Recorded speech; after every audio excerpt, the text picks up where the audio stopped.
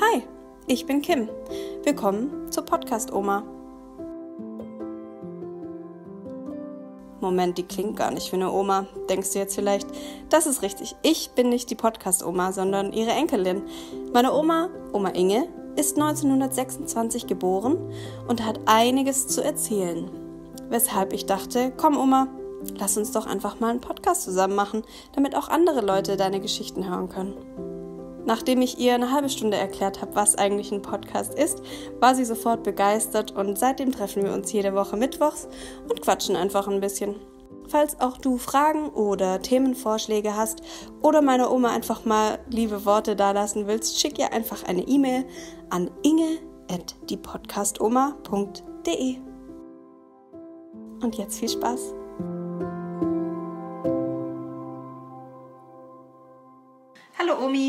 Hallo mein Schatz. Heute ähm, wollte ich mal mit dir quatschen über, mh, über Klamotten, über Mode, über Modetrends, über Angesagtes oder auch vergangene Modetrends. Meinst du, dass ich davon viel verstehe? Ja. Ich meine, du hast ja immerhin auch ähm, viel schon genäht. Ich bilde mir auch ein, etwas verstanden zu haben von der Mode. Aber mit der heutigen Mode, da denke ich, komme ich nicht mehr mit. Weil ich manches so furchtbar unansehnlich finde. Aber ihr sagt mir dann immer, Oma, das ist modern. Davon verstehe ich nichts mehr. Nee. Also es geht mir tatsächlich auch schon so, dass ich manche Sachen, die gerade so verkauft werden, die verstehe ich einfach nicht. Das ist ganz schlimm. Und deshalb verstehe ich dich auch, dass du dir die Hände über dem Kopf zusammenschlägst bei manchen Sachen. Bei manchen, ja. Ja. Zum Beispiel kommt dieses Jahr wieder oder schon seit letztem Sommer der Trend, diese riesigen hohen Schuhe, diese die aussehen wie ein Elefantenfuß. Kennst du die? Die bis zum Knöchel gehen oder noch höher, ne? Bis zur Wade, oder? Na, die haben so einen, so einen dicken, durchgehenden Absatz. Ah, die Keilabsatzschuhe? Nee, keine Keilabsatzschuhe, so richtig dicke. Warte, ich zeig dir die mal kurz. Nein, die kenn ich nicht. Kennst du nicht? Die kenne ich gar nicht, nee. Oh Gott. Und wie findest du die? Für meinen pommerschen Einheitsfuß wären die nicht schlecht. Aber für einen schlanken jungen Mädchenfuß ist er ein bisschen klobig. Furchtbar. Ja. Ja, welche, welche Modetrends findest du furchtbar? Oder was kannst du nicht verstehen? Diese großen Hosen zum Beispiel, so Hosen, die bis im Schritt hängen. Na, überhaupt nicht. Kann ich überhaupt nicht leiden. Aber es gibt nicht mehr so viele Hosen. Ja? Man sieht nicht mehr so viel, nein. Nein, dann kann ich vor allem nicht leiden, aber das ist modern, bitte entschuldige das, wenn man unter einer Jacke etwas trägt, was 10 Zentimeter vorguckt. So ging man früher nicht. Früher war alles Auf einer. Länge, mhm. Ja. Und wenn's, man guckte sich, wenn man wegging, ja in den Spiegel. Ja. Oh, und wenn was vorblitzte, nein, Jacke aus, dann kam eine längere Jacke. Aber so wie man heute geht, sieht mitunter abscheulich aus. Weil's vorne hat man ja Busen und wie ich im Bauch, denn guckt nichts vor. Aber hinten ist man schlanker, da guckt natürlich was vor. Ich finde es nicht schön. Aber so ist nun mal die Mode. Ja, du hast neulich erzählt, dass deine Oma fast immer nur schwarz trug. Ja. Ja. Nicht Trauer. Einfach Nein. so täglich. Ja. Ja. Und wenn man sonntags in die Kirche ging, auch schwarz. Natürlich, erst recht. Erst recht Ja. schwarz. Aber nicht nur meine Oma. Alle? Ja, die trugen alle schwarz. Also so 1930, 30er Jahre. ja. Ja, 30 bis 40 kannst du sagen. Mhm. Und warum meinst du, war das so? Weil es einfach nicht viel schöne Stoffe gab? Oder weil sie sich nichts draus gemacht haben? Ich denke, die haben sich nicht getraut, etwas Buntes zu tragen. Warum? Vielleicht hatten sie eine Scheu vor ihren Männern. Also ich weiß es nicht. Dass sie nicht auffallen wollen weil die Männer sonst ähm, sie auf sie aufmerksam wurden. Meinst du daran lag es? Ich weiß es nicht, Manuela. Ich, äh, äh, Kim, Entschuldigung, ich kann es dir nicht sagen, warum. Aber ihr Kinder, ihr hattet ja immer fröhliche Farben, oder? Ja. Also ich habe von meiner Mutter immer bunte Sachen bekommen. Aber guck zum Beispiel, als meine Mutter starb und meine Oma mütterlicherseits zu uns in den Norden kam und meinen Vater und uns versorgte, die hat mir Strümpfe gestrickt. Ja, keine beigefarbenen, nein, schwarze. Und die musstest du dann auftragen? Natürlich. Und die piekten wie die Pest. Ja, warum hat man mir nicht grüne oder blaue angezogen? Aber schwarze. Einem sechs-, siebenjährigen Kind schwarze Strümpfe anzuziehen. So was Furchtbares. ja, und die heutigen Frauen zum Beispiel aus, aus Spanien und ich glaube auch aus Italien, in der Witwenzeit ziehen die ein Jahr lang nur schwarze Kleidung an. Die trauern mit Schwarz. Und ich habe mir eingebildet, früher, als ich dann ein bisschen älter wurde, die haben alle Trauer. Nö, die hatten keinen Trauer. Die, die trugen schwarz, weil sie es gewöhnt waren von ihren Eltern. Ja. Wie kann man sich das vorstellen? Weil wenn ich mir jetzt denke, als ich noch ein Kind war, dann ist die Mama öfter mal mit mir einkaufen gegangen und ich habe eigentlich dann immer irgendwas zum Anziehen gehabt. Also der Schrank war eigentlich komplett gefüllt und wenn dann irgendwie, wenn man einkaufen war und man was Nettes gesehen hat, dann hat man das einfach gekauft. So geht es mir eigentlich auch noch, wenn ich heute irgendwo bin und ich sehe was, heute auch, habe ich eine schöne Bluse gesehen mit Herzen drauf, habe ich die mir gekauft und die Hose, genau. Aber ich denke, früher war das nicht so, oder? Nein, früher hatte man auch wahrscheinlich nicht das Geld dazu. Das heißt, du hattest in deinem Kleiderschrank wie viele Sachen? Hatte oder habe? Hatte. Als Also als du so alt warst wie ich jetzt oder ein bisschen jünger, wie viele Sachen würdest du schätzen, hattest du da in deinem Kleiderschrank? acht bis zehn. Echt? Ja. Wow. Findest du das viel oder? Nee, das finde ich sehr wenig. Also ich habe bestimmt 200. Ja. Ja. Krass, okay. Das heißt, du hattest was, ein Sommerkleid, ein Ja. Frühjahrskleid, ein dickes Winterkleid, Ja. eine Hose. Nein, Hosen, Hosen trugen wir keine. Nein. Die gab es für Kinder Mhm. nicht. Und dann wurde noch unterschieden in Alltag und Sonntag. Mhm. Heutzutage, glaube ich, zieht man am Donnerstag auch das an, was man am Sonntag trägt. Mhm, ja. ja. Ja. Also ich Sonntags nur Jogging. das heißt, wenn dann ein, ein Kleid von dir einen Riss hatte oder du irgendwo hängen geblieben bist, dann wurde das geflickt, so Ja. oft wie es ging. Also Ja. wenn du das zehnmal kaputt gemacht hast, wurde es zehnmal geflickt. Aber nach zehnmal nicht, denn meine Mutter hatte Gottlob ja das Talent zu schneidern und dann hat sie gesagt, nein, das können wir so nicht mehr anziehen. Aber ich weiß es nicht weg, ich mache da noch was draus. Wenn man natürlich nähen konnte, konnte man aus allen Sachen was machen. Ne?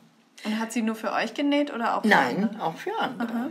Auch um sich äh, Geld zu, zu verdienen. Ne? Ja. Was hat damals so ein Kleid gekostet? Kannst du dich noch erinnern? Nee? Weil wir ja kaum was gekauft haben. Nein, nein, kann ich nicht sagen. Mhm. Aber es gab dann Stoffläden und da habt ihr dann Ja, euch einen ja. Stoff ausgesucht oder Ja, einen günstigen das hat, gefunden? das hat meine Mutter mir ausgesucht. Ich habe keine Stoffe ausgesucht. Ich hatte ja auch keine Ahnung von Stoffen. Denn es wurde auch äh, sehr darauf geachtet, ob man das Stück waschen kann. Denn das war ja wichtig. Ja. Auch heute bin ich immer noch schnell dabei und gucke nach, kann ich es waschen. Aber du würdest sagen, dass du jetzt auch noch ein bisschen diese Mentalität in dir drin trägst, dass du Sachen nicht einfach wegwirfst oder also du, du stoppst viel und du nähst wieder was zusammen oder Mhm. Natürlich. Stopfen tue ich gar nicht mehr, aber wenn was kaputt geht, eine Naht oder Mhm. äh, was zu lang oder zu kurz ist, da versuche ich schon etwas Mhm. äh, auszubessern. Ja. finde ich gut. kaufst ja auch nicht so oft neue Sachen, oder? Nein, ich habe vor kurzem beschlossen, mir nie mehr was Neues Echt? zu kaufen. Ja, weil ich denke, ich trage das nicht auf. Auftragen Mhm. hat man früher gesagt, wenn man etwas kaufte. Das ist aber teuer. Aber das trage ich ja bestimmt drei Jahre. Also dann ist es nicht teuer. Okay. Aber heute trägt man das vielleicht einen Sommer. Ja. Mutti hat mir zum Beispiel kürzlich zwei wunderhübsche T-Shirts, glaube ich, T-Shirts, ja, mitgebracht, geschenkt. Oh, magst du die nicht mehr, Manuela? Das ist doch so hübsch. Ah, das habe ich doch schon zwei Jahre. Und als ich es nächstes Mal anzog zum Nähen, haben die Damen alle gesagt, oh, hast du ein nettes T-Shirt an. da habe ich gesagt, ja, das besaß meine Tochter schon zwei Jahre. Ja und, haben die dann gesagt. das war schon zu Ja. lange. Es gab ja, früher auch, vielleicht in, in einem kleinen Dorf oder in der Stadt, gab es ja vielleicht nur ein oder zwei Boutiquen, wo man was einkaufen konnte. Und wenn einem das nicht mal gefallen hat, ja, dann konnte man lang suchen. Boutiquen kannten wir gar Nee? nicht. Wann kanntest du eine Boutique? Wann ich die zum ersten Mal? Hier in Stuttgart. Echt? Ja. Drüben gab es keine. Na, drüben gab es nur HO-Läden. Ja. Das heißt, weißt, du warst nie wirklich shoppen. Also, Doch, das war ich auch. Ja, aber hier in Stuttgart. aber da warst du ja schon älter dann. Ja, natürlich war ich da älter. Ja. Und wann warst du dann das erste Mal so shoppen?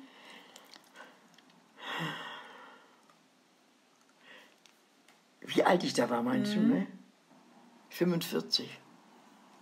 Als du das Ja. erste Mal losgegangen bist und Ja. dir ein paar Sachen Ja. gekauft hast. Weil man sich früher ja nur dann etwas gekauft hat, wenn man etwas brauchte. Also sprich zu irgendeinem Fest eingeladen oder zu einem Abschied eines Kollegen oder einer Kollegin, wolltest du auch was Nettes anziehen. Du konntest nicht deins anziehen, weil du das bereits schon voriges Jahr einmal anhattest zu dem Fest. Also musste was Neues her. Obwohl ich glaube, dass die Betreffende nicht mehr wusste, was ich vor einem Jahr anhatte. Aber okay, man hat sich dann ein neues gekauft. Aber das nannte ich nicht shoppen. Ich bin gegangen zum Einkaufen, weil ich was brauchte. Shoppen ist für mich angucken und kaufen oder auch nicht kaufen. Also angucken, von einem Laden zum anderen gehen. Abwägen, was schön ist, was billig ist, was günstig ist. Das ist für mich Shoppen. Für mich ist Shoppen so 20 Sachen in den Einkaufskorb, alles anprobieren und dann so 10 Sachen davon kaufen. So, so viel Geld hatte ich leider noch nie. Habe ich auch nicht, aber ich gebe es trotzdem aus. Ja, jeder macht so, wie es kann. Ja. Aber ich glaube, ich mache das so, weil ich es halt auch nur so kenne. Also, wenn ich früher mit Mama einkaufen war oder sie hat gesagt, komm, heute gehen wir mal shoppen, dann durfte ich mir Sachen aussuchen, die ich schön fand und die habe ich dann bekommen. Deswegen kenne ich gar nicht so, du brauchst jetzt Schuhe und wir kaufen jetzt nur ein paar Schuhe. So, das das kenne ich nicht so. Du hast auch eine sehr großzügige Ich habe eine sehr großzügige Familie, ja, das Ja. stimmt. Deshalb Ob das Papa oder Mama ist. Ich möchte dir nur mal ein Beispiel erzählen, aber das habe ich dir bestimmt schon dreimal erzählt. Ich war 18 oder 17 Jahre alt und sah in einem Schuhgeschäft ein paar Schuhe stehen. Sommerschuh, rot-weiß. Ich trage heute noch gern zweifarbige Schuhe. Und diese Schuhe haben 23,90 gekostet. Mutti, kriege ich die? Nein, so teure Schuhe. Ich habe sie nie bekommen. Und ich muss immer wieder daran denken. Ich werde das gar nicht los, Ja. weil die Schuhe so bildschön waren. Und mein Waren ganzes flache Schuhe oder hohe Schuhe? Sommerschuh, also mit Riemchen, rot-weiß. Gott, was waren die schön. Aber ich lebe heute noch. Vielleicht findest du ja mal wieder rot-weiße Ja, Schuhe. ja. Würdest du dir die dann kaufen? Nein. Nein. Warum? Weil ich Quadratlatschen habe und die Schuhe bestimmt nicht mehr tragen kann. Aber ich hatte ja noch nicht so viel Geld. Ja. Also ich durfte mein Geld damals nicht für mich verbrauchen. Echt? Für Nein. was dann? Ich musste etwas Kostgeld abgeben, aber das, was übrig blieb, war so wenig, dass ich froh war, wenn ich dir jeden vierten, fünften Tag ein Eis kaufen konnte. Oder irgendwas anderes Süßes. Und woher hattest du das Geld? Ja, da habe ich auch schon gearbeitet. Gearbeitet, ja. mit 16 fing ich an zu arbeiten. Also habe wenig verdient. Jeder hat wenig verdient. Aber es war trotzdem schön. Welchen Trend ich auch überhaupt nicht verstehe, Oma. Der Trend, dass man sich neue Klamotten kauft, in denen schon Löcher drin sind. Verstehst du den Trend? Nee. Nee? Ach so, wie diese Jeans, die Ja, am genau. Knie schon kaputt sind. Die üben, es gibt auch Jeans, die sind komplett, die haben hier überall Löcher drin, so Schlitze drin. Hast du noch nie gesehen? ja, aber Also findest du das schön? nein. Du kennst doch Michael in Augsburg. Und der hat zwei Kinder, einen Jungen und ein Mädchen. Und als das Mädchen flügge war, also so 15, 16, waren der Opa und ich mal da und haben sie besucht. Und sie brachte ihren Freund mit, Bettina. Und der Freund hatte ein Loch in seiner Jeanshose. Und keiner sagte was über dieses Loch, bis ich die Bettina bat, äh, ihren Freund so weit zu bringen, dass der seine Hose in einem anderen Zimmer auszog und sie mir gab, damit ich sie ihm nähte. Ja, so hat man darüber gelacht, wie du jetzt. Ich kenne auch Leute, die haben ähm, bei, Ich hab ihrer, bei ihrer Oma übernachtet und hatten eben auch so eine Hose dabei. Und die Oma hat sie dann heimlich zugenäht, die Löcher. Ja, so hätte ich auch machen können. Und was haben die dann gesagt? Nee. Nein, um Gottes Willen, Tante Inge, das ist schick. Das trägt man heute so. Da war die Welt für mich nicht mehr in Ordnung. Ja, Dass man mit Löchern auf die Straße geht. das ist schon verrückt. Ja. Es gibt sogar auch T-Shirts, wo Löcher drin sind. Wie als hätte eine Motte da drin drei Jahre gelebt. Mhm. Aber so seid ihr nicht mehr, dass ihr das schön Nee, findet. nee, nee, nee. Aber vielleicht hättet ihr das vor 15 Jahren auch schön gefunden. Ja, also wenn ich, bestimmt, wenn ich jetzt so 15 wäre, würde ich das auch schick Ja. finden, natürlich. Warum? Weil alle das schön Ja, fanden. genau, weil ich dazugehören möchte Ja. zur, zur breiten Masse. Ja. Und wenn man früher in die Schule kam und das Neueste nicht auch hatte, dann war man unten durch. Mhm. Ja. Meine Mutter war mal hier. Wenn sie hier war, hat sie uns immer was genäht. So zum Beispiel deiner Mutti ein Kleid aus zwei verschiedenen Stoffresten. Das war übrig. Sie brachte die mit von drüben. Ja. Waren wunderschön. Grün und blau.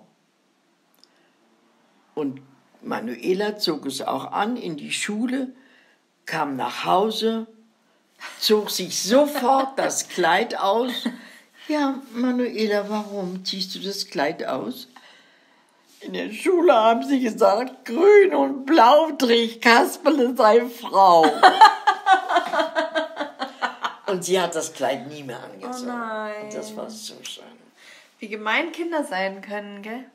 Bitte? Wie gemein Kinder Ja, sein können. ja, brutal. Ganz brutal. Naja, aber ihr nicht. Wir sind toll.